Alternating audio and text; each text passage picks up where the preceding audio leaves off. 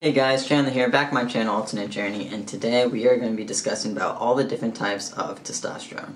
Now, a lot of people use testosterone for many different reasonings. Uh, me personally, myself, I inject testosterone weekly for my hormone replacement therapy, um, aka for those people that don't know, I'm trans. So, there you go. A lot of people use testosterone for many different reasonings, whether they are using it for gender euphoria, for like transitioning, bodybuilding, or just for cis individuals that have low testosterone side effects. We're all born with testosterone and estrogen, and we have to make sure that those levels are maintained at a healthy level. I'm just simply discussing about the five different types of testosterone that I have done research on. Obviously, always consult with a medical provider before switching your testosterone before you start going on testosterone, but then again, you have to be, be prescribed anyways to get it. In most cases, all of these are, can be injected intramuscularly and some subcutaneously as well. Meaning, intramuscular being injected into a muscle, and subcutaneous meaning being able to inject the substance into a layer of fat. And all the information I have found within this video, you can also find on the website called the BioStation. Cypionate.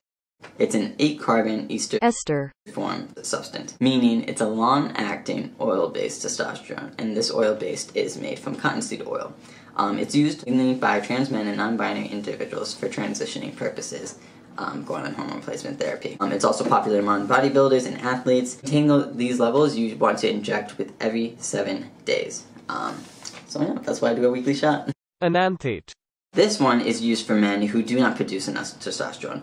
It is also oil based and it is made from sesame oil. A shorter lifespan of just five days. So you have to do still a weekly injection kind of but like some weeks i guess you would do two injections because it's like the five days. So unfortunately instead of just having like a normal shot day of like hey every monday i do a shot you have to remember as like okay monday and then my next shot is saturday and then my next shot after that is wednesday and then after that it's you know so it's just like you always have to constantly remember which gets very annoying. Propionate also oil based, it's a short ester ester testosterone, meaning it is faster acting and it is a grapeseed oil. This one has a lifespan of three to four days. It requires frequent injections. It's mainly used for uh, cis men who have delayed in puberty.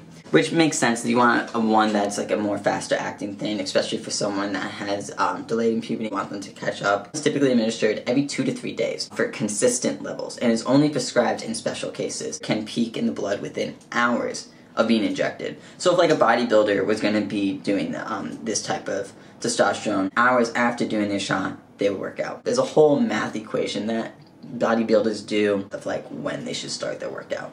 That's why um, knowing the differences between these testosterones are beneficial in many ways of just knowing when to do your shot, but also like in the bodybuilder aspect as well. Undecanoate is a long-acting ester. Ester maintains levels within the normal range without major fluctuations. It kept saying that when I was researching this one. I don't know why, because most testosterone maintains within normal range. Anyways, you, that's just how you know when to do your next shot. But I guess this one is just so much longer acting than anything else because this one actually allows you to do shots every three months after an initial loading dose within a six week interval. Uh, meaning like frequent uh, shots for like six weeks, I guess, of like micro dosing levels in order for your body to get used to the substance. It's made in Germany, it's a castor oil, and then in China, it's a tea seed oil. Although over the past few years, they have changed it to soybean oil for improvements. I didn't really say what improvements, but I guess it just makes it last longer for the three months. This one is typically not used for trans men, although it is starting to be used for trans individuals, but is mainly used for individuals uh, like cis men with just low testosterone side effects. Um, especially since it is like a whole three month dose interval. I just feel like I would just totally forget. Like I imagine doing a shot and then three months later doing a shot. I'm pretty sure though if you were doing a hormone replacement therapy aspect journey with this that you would actually have to do more frequent shots. I don't think it's every three months. There wasn't a lot of information on the whole trans aspect, unfortunately. Um, so if anyone has tried it and stuff like that, or is researching more about it, or talked to the doctor about it, please comment down and more information down below. I'd love to hear it. And last but not least, testosterone suspension. This one contains no ester, uh, Easter. What do we want to call it? Ester. It's a water-based testosterone, so the purest form of testosterone that you can get, pretty much besides what's already naturally in your body. Among bodybuilders, this one is known as a potent mass agent.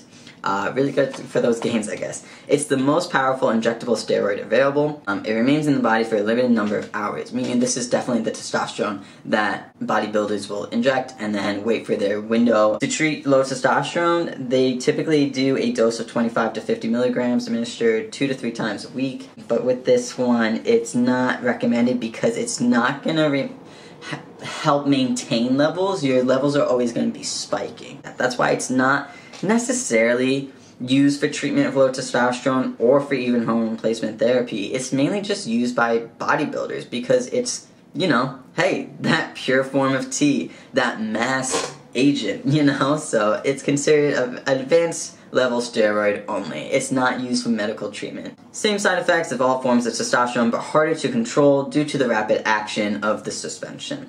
Now, obviously, all these different types of testosterone are gonna have all basically the same side effects of testosterone. Testosterone itself has its pure side effects. But obviously, taking different forms are gonna have different side effects as well. But anyways, I wanted to share this little bit of information. I know it wasn't like very detailed. It was just like about the testosterones and what they're made out of. But sometimes even that little bit amount of information really helps with an individual, especially if they're allergic to certain things. But yeah, if you guys want me to like break down on a certain type of testosterone or even like the history of testosterone esters to begin with, like the making of it and stuff like that, I'm very interested in, in that stuff, but I don't know if other people are. And also, I just find this information just very helpful because the fact is, like, if you go on testosterone that doesn't work for you, whether it is for your hormone replacement therapy, whether you're cis and you just are experiencing low testosterone side effects, being a cis male or cis female, and it's just like, or even if you're a bodybuilder and you want to get those gains, you want to find the pure form of T it's it's beneficial to know all this stuff so you can keep on trying different things. Not saying like it's a, like a little sample thing and everything, but like keep trying them in a safe, educated environment. Obviously consulting your doctor. Look at the statistics. If you find yourself watching multiple of my videos, might as well subscribe. And don't forget to click that bell down below so you get notifications whenever I upload. And I'll see you guys next time.